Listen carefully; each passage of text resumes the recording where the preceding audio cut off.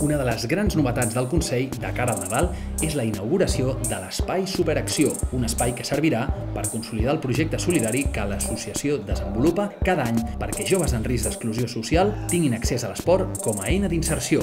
Fins ara, aquest projecte celebrava activitats esportives i didàctiques al complex de la Mar Vella i en diferents punts de Barcelona, però a partir de desembre i gener comptarà amb un espai central de trobada obert de dilluns a divendres de 9 a 5 de la tarda.